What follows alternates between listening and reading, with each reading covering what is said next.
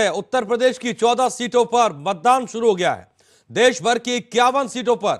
वहीं जहाँ पर हम बात आज के मतदान की करें तो बेहद महत्वपूर्ण है, क्योंकि इन 14 सीटों पर कई सारे दिग्गज हैं जिनकी किस्मत दांव पर लगी है।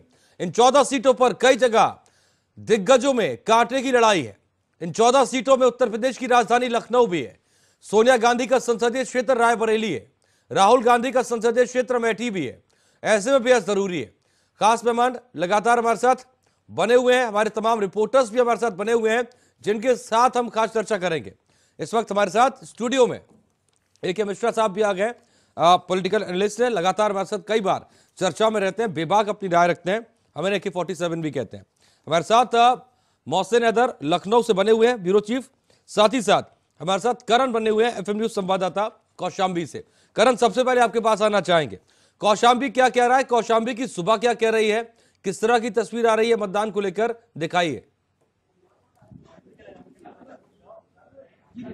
जी सुबह सात बजे यहाँ पे जो है मतदान शुरू हो गया है और लगातार लोग मतदान कर रहे हैं और मतदान प्रक्रिया में लोगों में उत्साह दिख रहा है। मतदान मतदान को लेकर के यहाँ पे जो है, और तस्वीरें भी आपको दिखा रहे हैं कि जिस तरह से लोगों में उत्साह है मतदान को लेकर के सुबह से जो तस्वीरें लगातार दिखा रहे सात बजे से मतदान की प्रक्रिया शुरू हुई है, और मतदान लगातार जो है लोगों में उत्साह और जज्बा दिख रहा है तो सामने से लोगों को मतदान के लिए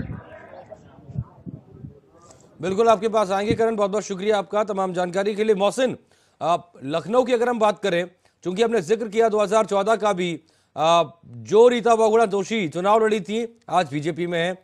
अब आज राजनाथ सिंह वर्सेस पूनम सिन्हा वर्सेस आचार्य प्रमोद कृष्णम की लड़ाई है।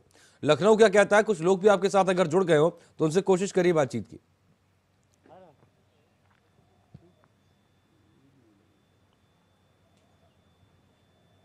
देखिए अजितेश, अगर हम लखनऊ की बात करें तो पहले से ही कहा जाता है कि अगर दिल्ली का रास्ता पहुँचना है आसानी के साथ तो उत्तर प्रदेश को जीतना बहुत ज़रूरी है क्योंकि 80 लोकसभा सीटें यहाँ से आती हैं और खास बात है कि आज 14 लोकसभा सीटों पर यहाँ पर चुनाव होने जा रहा है।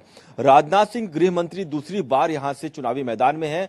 अटल बिहारी वाजपेयी यहाँ से पाँच बार सांसद रहे। पिछली बार सबसे टफ जो मुकाबला था वो रीता बहुगुणा जोशी के साथ था लेकिन इस बार वो खुद कैबिनेट मंत्री हैं इलाहाबाद से भारतीय जनता पार्टी के कैंडिडेट हैं। इस वक्त इस वक्त हमारे साथ कुछ बाशिंदे हैं लखनऊ के वो वोट करने जा रहे हैं उनसे पूछते हैं कि इस बार किन मसलों को लेकर उनके दिमाग में वोट करना है। सर आप बताइए आपने कई बार वोट किया होगा। इस बार क्या लगता है किन मुद्दों को लेकर आप वोट डालने जा रहे हैं? पिछले पाँच साल सरकार चली कुछ तो होगा दिमाग में कि इस बार इन इन वजहों से मैं वोट दूँगा। नहीं मोदी जी ने वैसे राष्ट्र हित में और जनता हित में दोनों में बहुत अच्छा काम किया है। इसलिए हम लोग चाहते हैं एक बार उनकी सरकार और बने। जी। जी और आ, हम लोगों की ये राय भी है कि आम जनता को भी इसमें सहयोग करना चाहिए। नहीं पिछले पाँच साल में आपके सांसद थे गृह मंत्री राजनाथ सिंह। लखनऊ में जिस एक्सपेक्टेशंस के साथ लखनऊ के वासियों ने उनको सांसद बनाया था क्या लगता है कि पिछले पाँच सालों में वो खरे उतरे हैं? हाँ करीब करीब खड़े उतरे हाँ। क्या किन मसलों को लेकर आपने वोट उस वक्त किया था? अब उस समय भ्रष्टाचार बहुत था कांग्रेस के जमाने में। तो उससे सारी जनता जो थी उब चुकी थी। और उसे देखते हुए हम लोगों ने इनको लाया था। खास तौर से गुंडाइजम वो बहुत कुछ कम हुआ है। और अ, हमारे से गुंडे सब करीब करीब जेल के अंदर हैं। इसलिए चलिए अजितेश महिला सुरक्षा का जो बिल्कुल है आ, मोहसिन एक सेकंड में आपके पास हम तुरंत लौट रहे हैं आपको माफ़ी के साथ रोकेंगे। इस वक्त हमारे साथ आप चूँकि तस्वीरें लगातार आ रही हैं गृह मंत्री राजनाथ सिंह वोट करने पहुँचे अपने परिवार के साथ उनके बेटे नोएडा से विधायक पंकज सिंह भी मौजूद हैं। और परिवार सहित वोट करने के लिए राजनाथ सिंह पहुँचे। तस्वीरें लखनऊ से ही चुनाव लड़ रहे हैं और फ़िलहाल परिवार सहित मतदान करने के लिए पहुँचे हैं राजनाथ सिंह और खास तौर पर जहाँ पर परिवार सहित पहुँचे हैं, लाइन में लगे हुए हैं। और चूँकि ये तस्वीरें बेहद खास होती है, मतदान के दिन जहाँ पर जब तमाम नेता वोट करने पहुँच रहे हैं तो कहीं ना कहीं एक संदेश भी होता है, हम सबके लिए भी, हम भी ज़रूर मतदान करें। और ऐसे में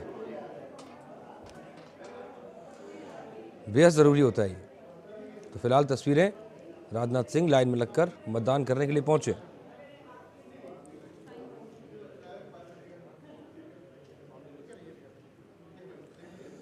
तो राजनाथ सिंह अपने परिवार सहित पहुँचे।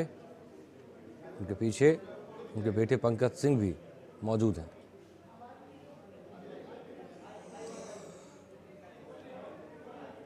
तो यहाँ पर पंकज सिंह नोएडा से, चूँकि विधायक है 2017 में, विधानसभा चुनाव लड़े थे, जीते, और राजनाथ सिंह लखनऊ से सांसद हैं। गृह मंत्री ने देश के, एक बार फिर से लखनऊ से ही चुनाव लड़ रहे हैं, मतदान करने के लिए पहुँचे हैं।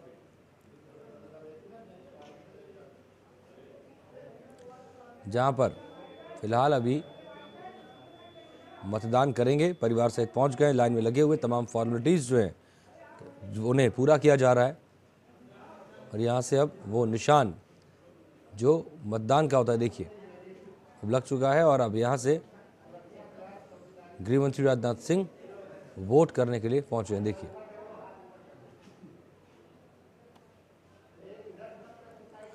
तो परिवार के साथ वोट करने पहुँचे राजनाथ सिंह, बेटे पंकज सिंह के साथ में। और यहाँ से अब मतदान हो गया। देखिए, राजनाथ सिंह ने वोट किया।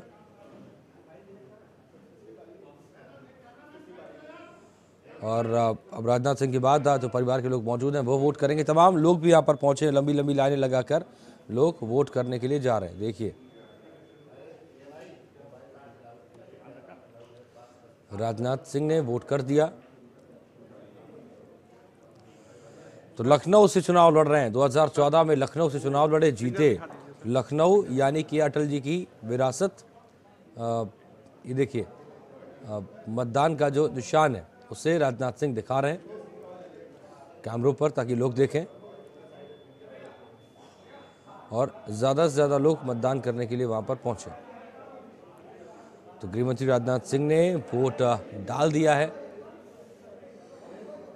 परिवार सहित पहुँचे। और वोट डालने के बाद चूँकि उंगली पर लगा निशान भी दिखाते हुए नज़र आए, और अब बातचीत क्या करते हैं, क्या कुछ कहते हैं, ये भी देखने वाली बात होगी।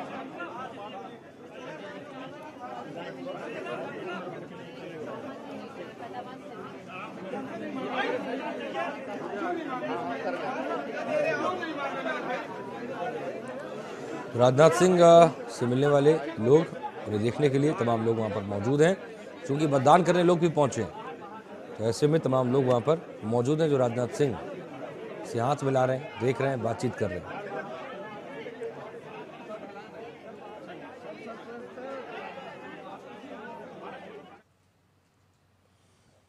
तो लंबी लंबी लाइनें लगाकर लोग मतदान करने के लिए पहुँच रहे हैं, और अब शायद गृह मंत्री कुछ बोलें।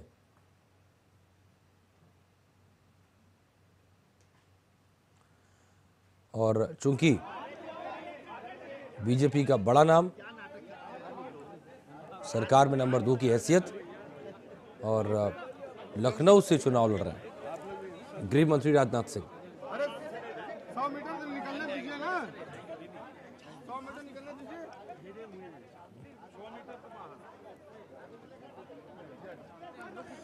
तो ऐसे में दरअसल बेहद ज़रूरी हो जाता है।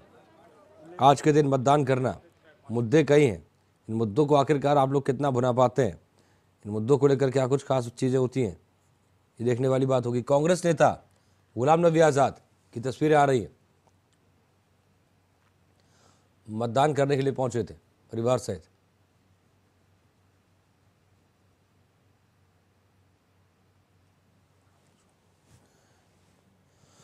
और चलिए, सीधा रुख करेंगे लखनऊ का। उमंग पांडे भी ज़्यादा जानकारी के साथ जुड़ गए उमंग, लखनऊ की बात करें फ़िलहाल वोटिंग को लेकर क्या खबर है? आप मतदान केंद्र के बाहर भी हैं। किस तरह की तस्वीर आ रही है? दिखाइए।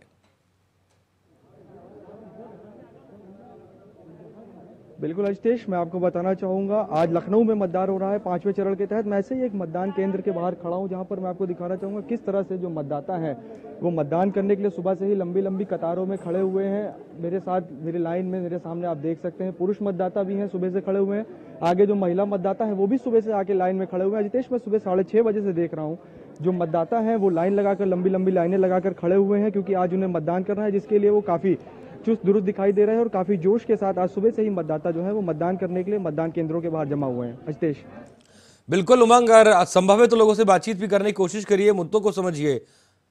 किसे वोट कर रहे हैं, सवाल ये नहीं है। सवाल ये कि किन मुद्दों पर वोट कर रहे हैं, मुद्दे क्या है? 2014 में क्या थे? अभी तक कितने मुद्दे बदले, अब नया क्या है?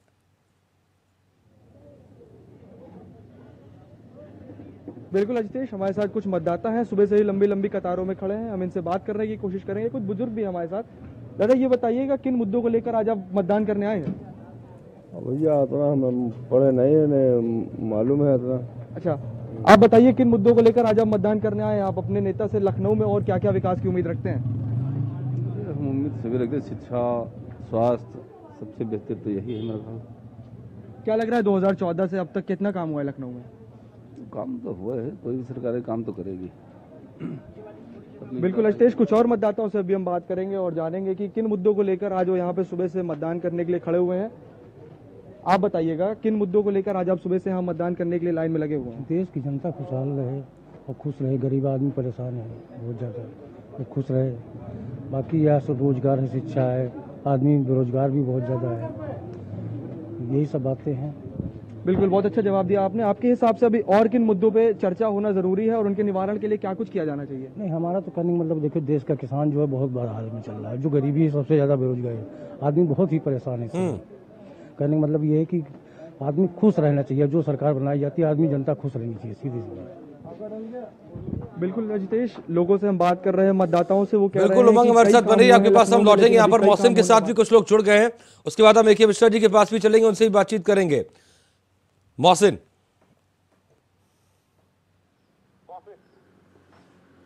चलिए मोहसिन आ रहे एक बार राजनाथ सिंह कुछ बोल रहे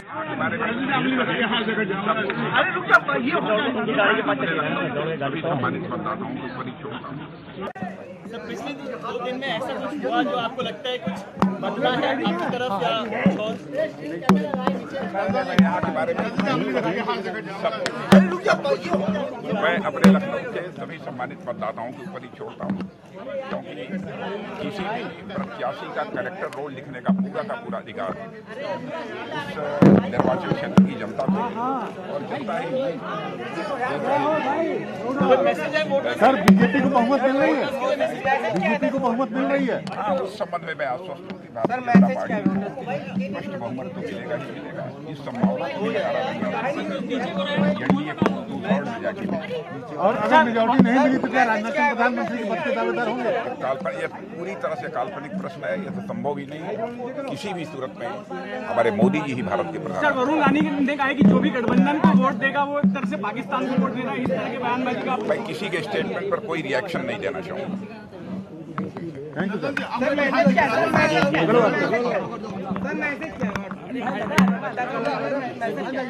सभी मतदाताओं से समस्त देश के मतदाताओं से मैं अपील करूँगा। कि लोकतंत्र के इस महापर्व में कृपया ये सुनिश्चित करें कि वो मतदान से वंचित न रह जाए। सभी अपना मतदान करें सपरिवार मतदान करें।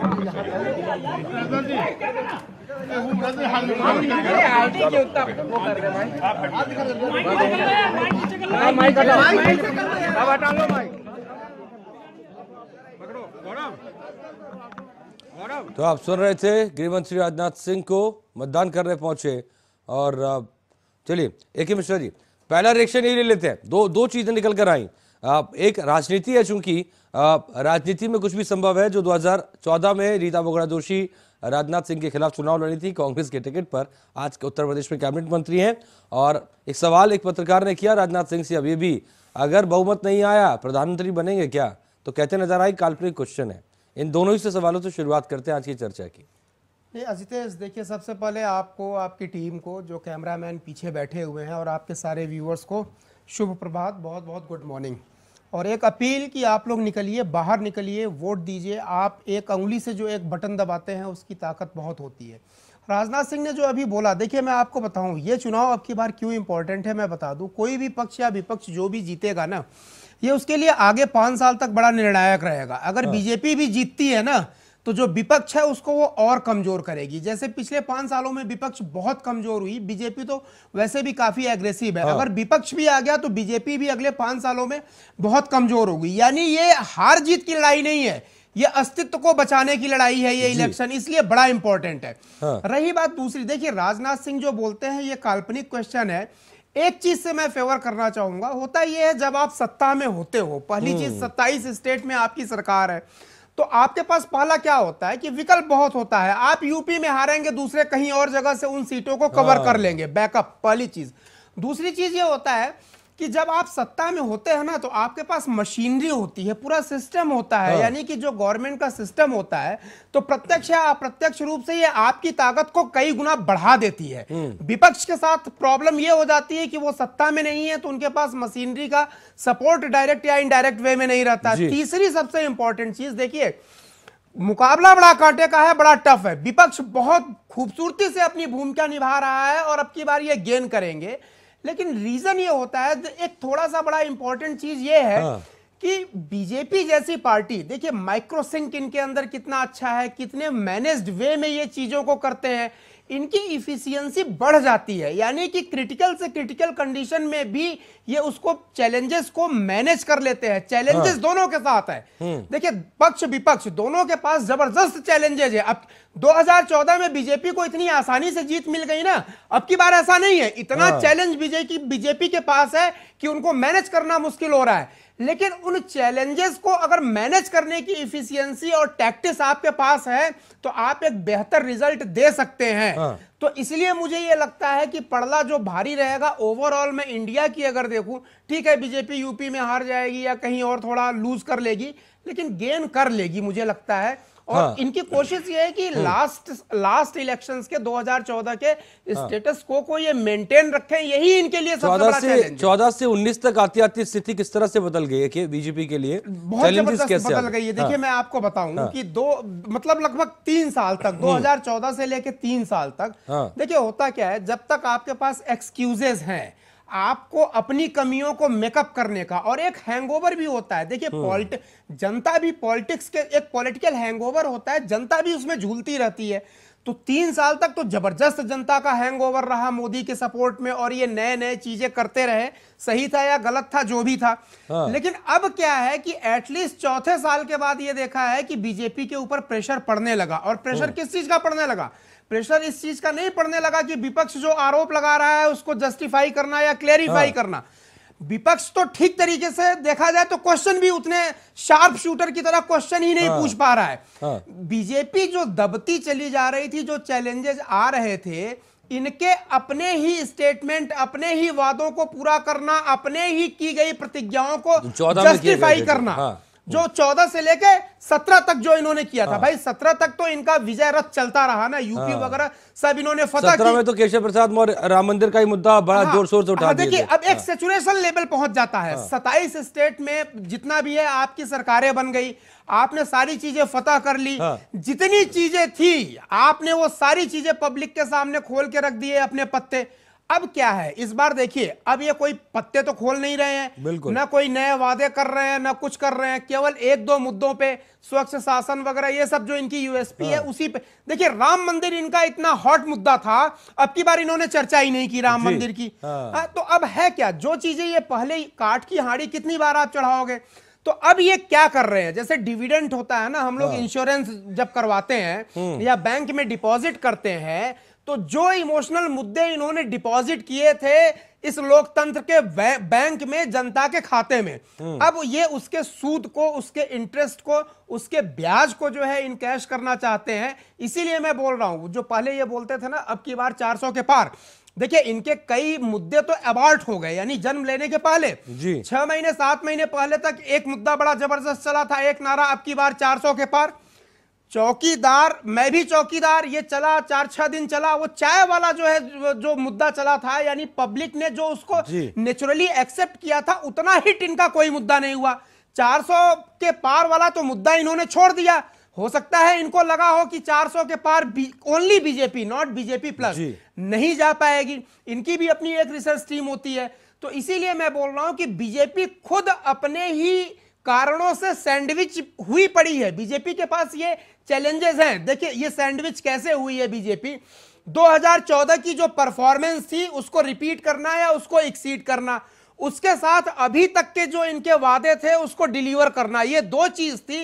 इन दोनों चीज़ों के बीच में बीजेपी सैंडविच हुई पड़ी है। बिल्कुल। तो इसीलिए बीजेपी की हाँ। कंडीशन ये है कि 2014 की कंडीशन को भी मेंटेन कर ले तो वो मैं बड़ी बहुत बड़ा मानूँगा। एक आपके पास आएँगे। मोहसिन हमारे साथ बने हुए। मोहसिन कुछ लोग आपके साथ और जुड़ गए साथ ही साथ कांटे की लड़ाई पर हमने चर्चा की। लेकिन वाकई में अगर हम देखें चूँकि जब स्थानीय मुद्दों की बात करते हैं जो कि प्रदेश की राजधानी है सबकी नज़र उस पर रहती है तो शायद विकास के मामले पर तमाम वो सवाल ना उठे। लेकिन फिर भी अंदर अंदर आखिरकार राष्ट्रीय मुद्दों को छोड़कर बड़े नेताओं की बात छोड़कर आखिरकार लखनऊ की आवाम कहती क्या है?